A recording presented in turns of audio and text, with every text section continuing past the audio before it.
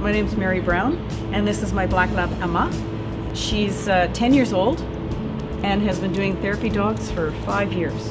Well, I wanted to uh, to give back to community, and I, I said um, if I can do something with my dog in the community, that would be my dream come true.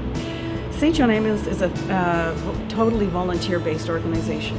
Our mandate is community service, and I think with the teams that go out throughout BC to, to visit either in hospitals or care facilities, we do a tremendous amount of good. It's a win-win situation all the way around.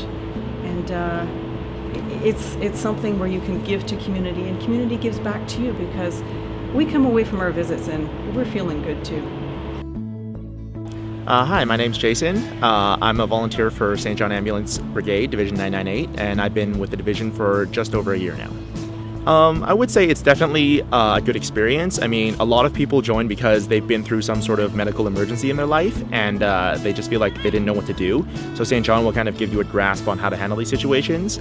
But besides that, um, it's it's a great experience because of all the people in it. I mean, everyone in the division joined for a reason, and usually it's because they want to help people. And it's just nice to get together all these cool people and practice something that's really great.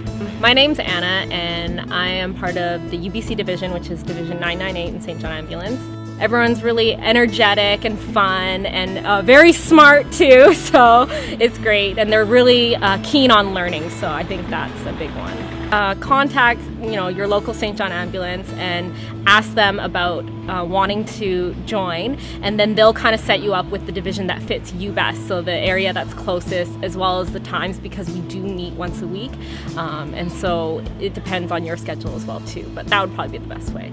My name is Martin, and I am a member of Division 998, that's the UBC division, and I've been with the division for about two and a half years, almost three years now. A very strong part of St. John Ambulance, the cadet divisions or the brigade divisions for adults, is teamwork. We're encouraged to actually work together. Although with classes, it, the focus is more on the student actually learning the stuff as an individual.